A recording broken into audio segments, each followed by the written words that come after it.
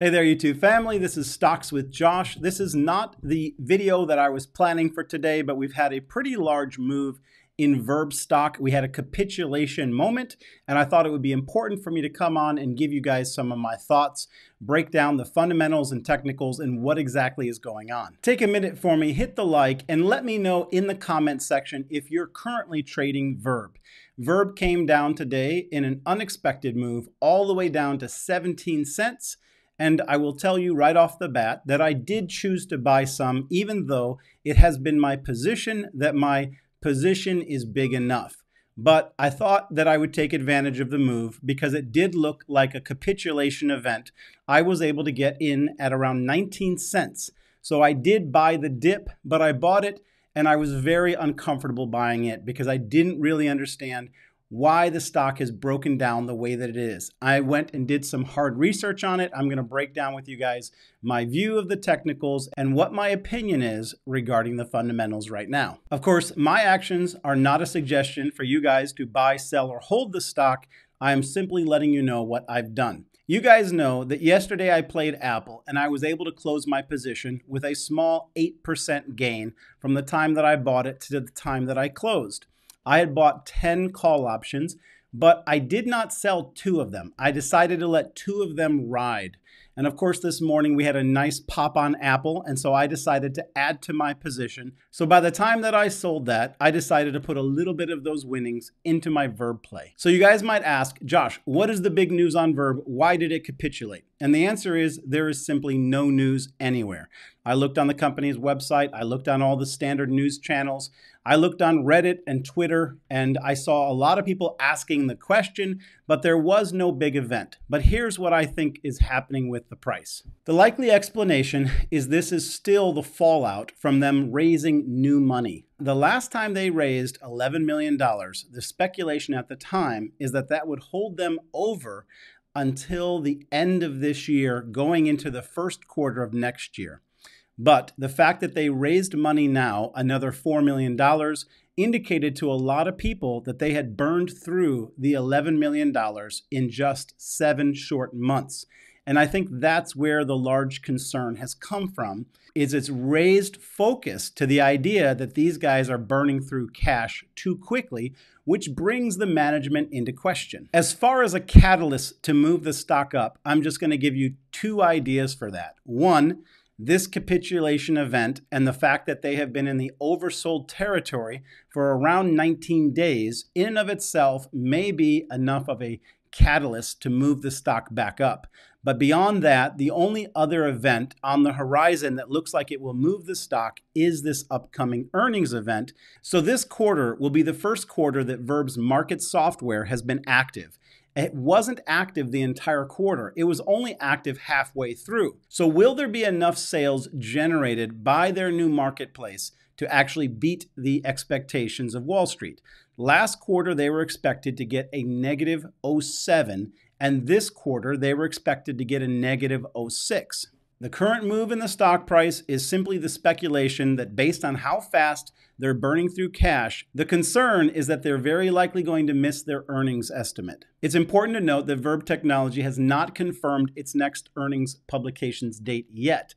The company's estimated earnings date is Monday, November 21st, 2022, based off of last year's reporting date, so it has not been confirmed the exact date. One of the other concerns that a lot of people have been talking about online is that the CEO has been extremely quiet. He has not provided any response to the shareholders or any form of news that would suggest that everything is okay. As I mentioned before, he is currently a guest judge on a reality TV show at this moment. So, in a weird way, people are speculating this guy's not telling us what's going on with Verb. He's over here on a reality TV show. So, things are either really good and he's got time to spare, or he's ignoring the problem. So, all that really leaves us with is the charts. So, let's see exactly what the charts are saying. At this moment in time, on the RSI, we've been oversold for 19 straight days. The price is presumed to bounce soon because the longer the ticker stays in the oversold zone, the more promptly an uptrend is expected. We have never broken out of the descending channel that we have been in for well over a year.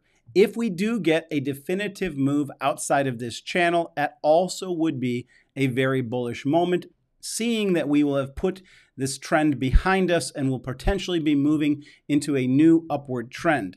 We did get a gravestone doji, and that absolutely signaled to us that we were likely to have a flash down. I imagined that we were going to get a flash down and touch the all time lows.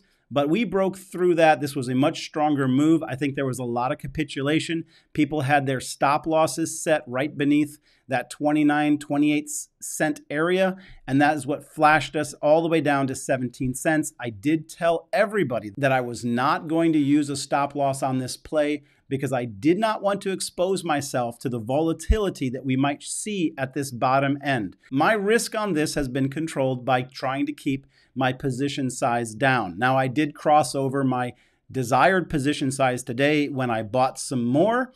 But at this point, I'm going to chill with it. I feel like I got some at the capitulation moment, and now I'm going to be looking for the movement up. That's assuming that everything is okay with the fundamentals, as well as it is assuming that when the earnings come out, that these guys have handled their cash appropriately, haven't overspent, and have actually made some money. It very well may be the case that what we saw today was the paper hands and the retail capitulation. I'm going to go over a recent Forbes article just to give you an overview of why we're in this stock to begin with. So I'm going to go through some of the top points that the article made. It said live stream shopping is expected to hit $20 billion in 2022 and it's expected to grow to 57 billion in 2025. It highlighted the fact that Walmart is partnering with platforms like TikTok, Twitter, YouTube, and Facebook to host live shopping events. That's a pretty mainstream shift. It talked about the fact that in China, live stream shopping hit 327 billion in 2021. That's right, 327 billion compared to the US's 22 billion. And in addition to that, that size was a 108% year over year growth from 2020. If the US followed China's lead, we have yet to see that explosive growth opportunity here. It was speculated that America's growth could exceed that of China's because American audience actually know more about what this product is because they grew up with channels like QVC. They mentioned that those types of channels have largely aged out and that the current generations are moving towards buying from influencers. One of the appeals to American retailers is that live stream shopping boasts a 10x conversion rate to traditional marketing. And so there's a lot to be gained for American companies to move towards this model. Only 30% of Americans have watched a live stream shopping event. Most Americans are entirely unfamiliar with this product. It's yet to move into the mainstream. And they also mentioned that live stream shopping accounts for only 2% of existing sales in the US, while in China right now, live stream shopping accounts for 23% of all of their sales. And so there's a huge opportunity for the years to come for this industry to grow in the US. And this is the exact target that Verb Technologies has been after. They've been trying to position themselves in advance of this large potential coming movement in sales and be one of the leaders with the best technology and the best product. I've personally gone and on this channel, we compared Verb technology to the other big uh, technologies currently doing this in the US. And Verb had a number of programming advantages above them. They've also been able to make these great alliances with big multi billion dollar American companies. So this whole thing just boils down to one point right now. It all comes down to the fundamentals. We see that we have had price action breakdown in the charts. We're very likely going to get a bounce from here. But the question is, where is it really going to go? I think we're going to find that out in November when we get the earnings. It's going to come down to how successful these guys were in controlling their cash flow and really how successful they're going to be in surviving. Are they going to be able to raise more cash four months from now because it appears that they're going through about a million dollars a month loss. If they're not able to raise more cash, it doesn't matter how great of a company they are, they could be forced simply because of running out of cash to go out and find a buyer from their technology. And everybody knows that if you are if your house is on fire, you can't sell it. It's not the ideal time to sell. So that's the bottom line with Verb. We're waiting to see if these guys are in control or whether they've lost control. But we've seen this in the past. This stock has come down to super low prices, turned right around and ramped up to 2 or 3 dollars It's happened repeatedly in the history of this company. And so here we are at the 11th hour. These guys are just getting ready to turn a profit. They finally launched their proprietary software. The market is doubting them. Their price is getting driven down. A lot of the retail people are capitulating because it makes sense in some ways to get out of it because you're thinking, well, somebody must know something. But right now, all that we know is that these guys have a great technology. They're very close to turning a profit, and we're going to find out everything at the earnings. So the question is whether you guys are staying in it. I've made my bed at this point with Verb. I'm going to sleep in it. I'm going to wait until the earnings comes out, but you guys let me know in the comment section what you're going to do, whether you got out today or whether you're going to buy the dip or what your thoughts are, whether you regret ever buying Verb. Let me know. Hit the like, and I'll see you guys in the next video.